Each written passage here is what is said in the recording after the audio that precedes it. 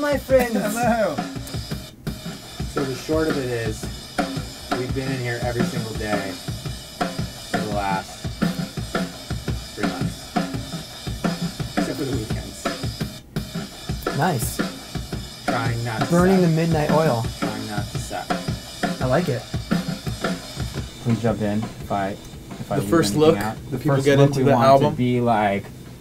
Ah! the So- first look we want is to take people and say they're pushing it with the melodies, they're pushing it with the songwriting, they're pushing it with the length of the song, pushing it with technicality, which we didn't even know they could do. My favorite version of it, it's like, oh, that's like some of the best performance on the record.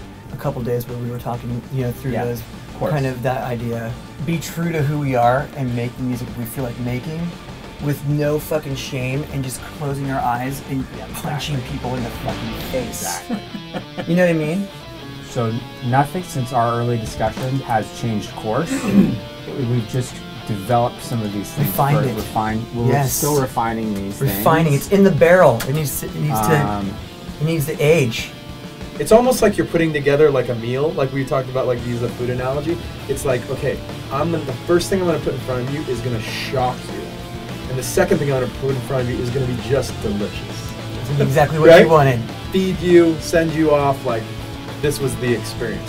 That's really where a lot of those those like experimentation and themes and the story of the record is gonna play out musically and and lyrically, and there like I kind of want a little taste of a thousand suns in it, and the idea of like it's got a narrative, it's got a bit of a concept, and themes may show up and then show up again a different way, and like Yeah. stuff to tie it in because if duck you three ways.